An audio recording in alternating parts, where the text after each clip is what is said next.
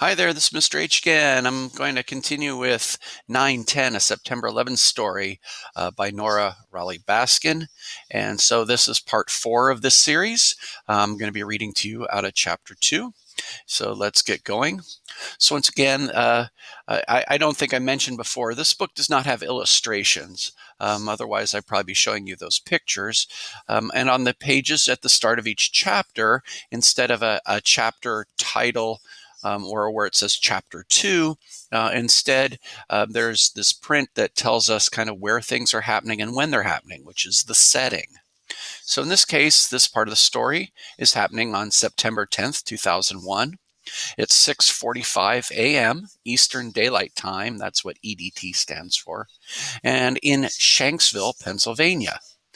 And I know many of you uh, hearing this are thinking, Pennsylvania. Wait, where's that? And then Shanksville because people know Pittsburgh or they know Philadelphia, uh, but they don't know Shanksville, perhaps. So here, let's take a look at a map.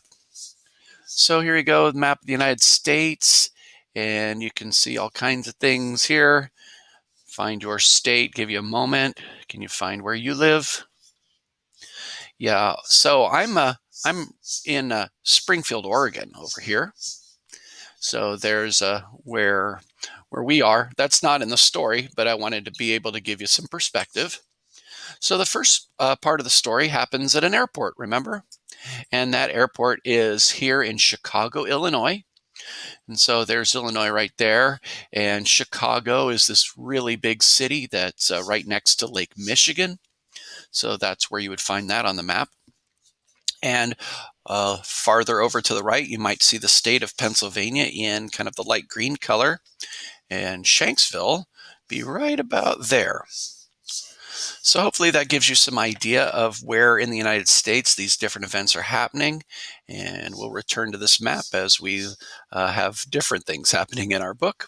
All right, so moving on back to the story. And so here is the second chapter. Will's sisters were already in their usual spots at the kitchen table, arguing over the positioning of a cereal box for the best viewing, when he made his way down for breakfast. Coffee? His mother handed him a mug. Thanks, Will said. He turned to Rooney and Callie. What's so important about the fruity pebbles? There's a game on the back, Rooney whined. Yeah, and it's my turn, Callie shifted the box in her direction. Rooney yanked it back. Okay, that's enough. Will stepped over and lifted the box off the table.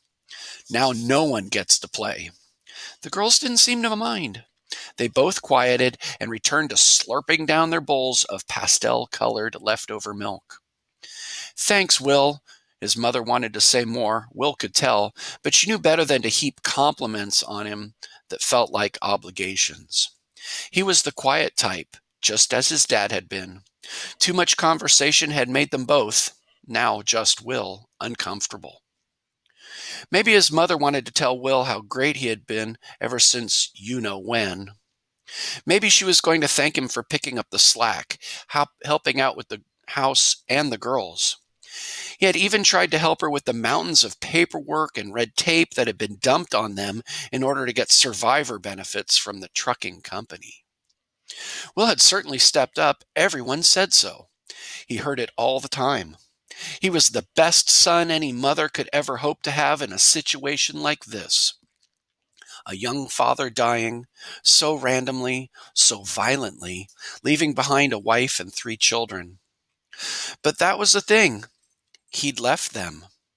Because the truth was that Will's father should never have died. It didn't have to happen. All his father had had to do was call in the accident on his CB.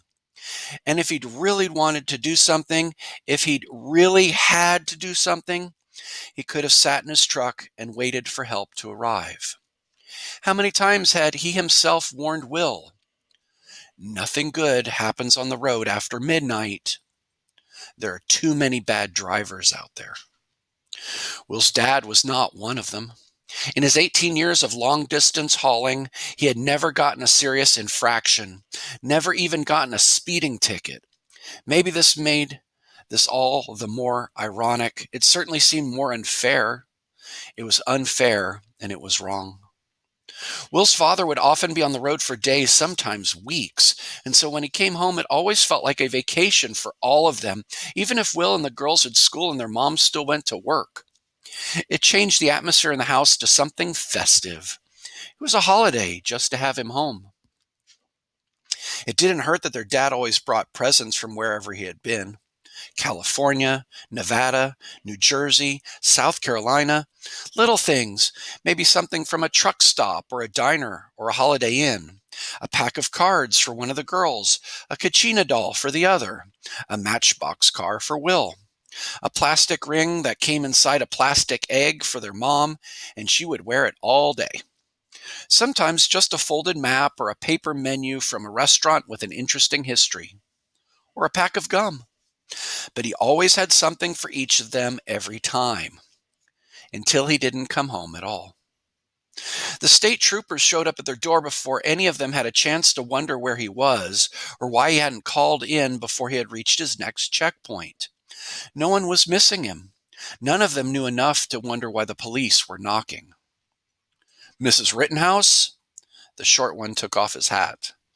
Looking back, Will thought Will thought that should have been a warning sign. The tall one had his eyes down until he had to speak. Mrs. Frank Rittenhouse? he asked.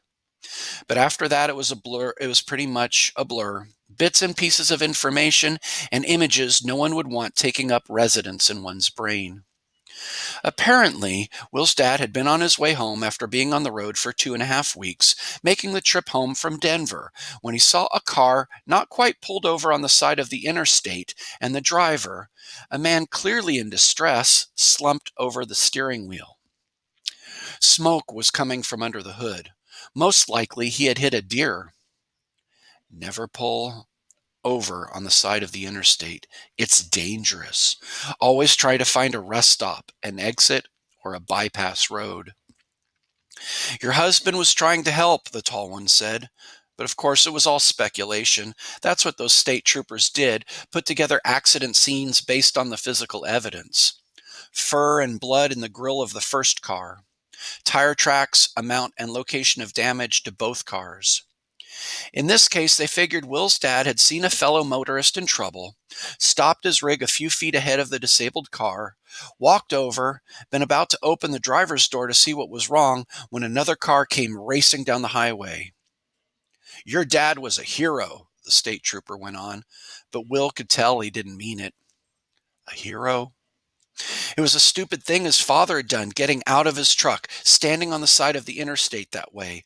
He had warned his own family against doing that hundreds of times. If they were out in their station wagon and he saw someone changing a tire by the side of the road, he would roll down his window. Don't do that, mister. It's dangerous. Call a tow. The state troopers went on to describe briefly how the oncoming car hit the disabled vehicle and sent it into the side of the rocky embankment with Will's dad pinned between them.